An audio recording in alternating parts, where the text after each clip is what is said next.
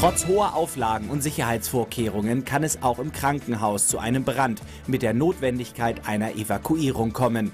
Die Allerweser-Klinik in Pferden nutzt den Umbau einer Station im Krankenhaus, um den Ernstfall zu simulieren.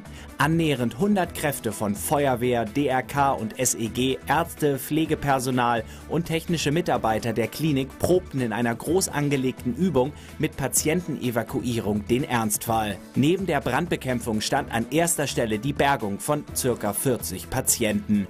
Die Betroffenen wurden unter Atemschutz mit Leitern aus dem Gelände gerettet.